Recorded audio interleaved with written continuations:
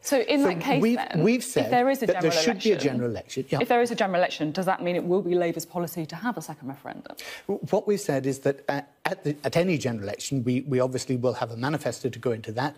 We would set out what we would seek to negotiate in Europe to try and deliver. So you try to press on with Brexit? We, we would try, we would try to actually get something that would reunite the 52% and the 48% of our country.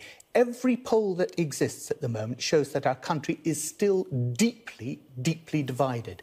It is the responsibility of government to try and unite the country, not to divide it. So do you think if there was my- a second my own- referendum, my those own- divisions would deepen? Is well, I, I, I do think that, but I, I, I think the way of trying to, to tackle this